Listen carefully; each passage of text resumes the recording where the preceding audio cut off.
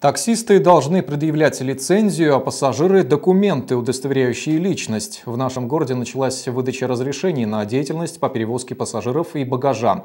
Как проходит эта процедура и каким образом она отразится на челницах, предпочитающих этот вид транспорта, мы решили узнать у самих таксистов.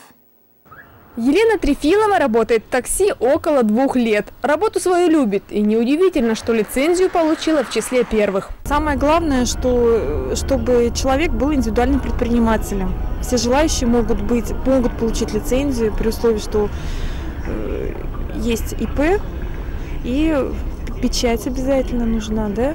Э, нужно подойти в мэрию, э, написать заявление предоставлением вот этих документов. При себе необходимо иметь также паспорт гражданина России и свидетельство о регистрации транспортного средства. Однако таксистов, получивших необходимые документы, пока в набережных Челнах не так уж много. Большинство только собираются пройти эту процедуру. Регистрация идеального предпринимателя как вид деятельности такси у него уже давно было зарегистрирован.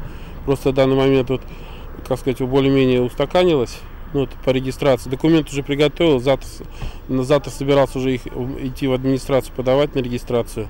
Получить за столь короткий срок до 1 января 2012 года разрешение на осуществление деятельности по перевозке пассажиров и багажа всем таксистам, скорее всего, не удастся. Поэтому в некоторых фирмах нашли достаточно простой выход из ситуации. В частности, наши такси переходят 5 девяток э, из формы такси э, в форму машины по заказу.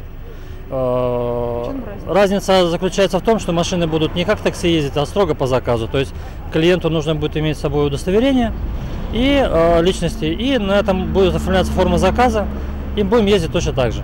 То есть закон этого не запрещает. В следующем же году водителей также ждут некоторые трудности в организации работы. Причем не только в оформлении документации. Все машины должны быть одного цвета. Основная задача подготовки к следующему этапу, то есть это а, цвет. В основном в нашем такси водители покупают, приобретают сегодня белые машины. А, они наличие есть и готовятся к тому, что э, все-таки закон будет работать. Белые машины э, будут преобладать. Также в городе появляются службы такси, работающие по таксометру. Преимущество данного способа оплаты заключается в принципе, сколько проехал, столько заплатил. Что касается самой стоимости, совсем недавно подорожали поездки с нового города в поселке Зяб и ГЭС. В начале года еще раз поднимать цены таксисты не планируют.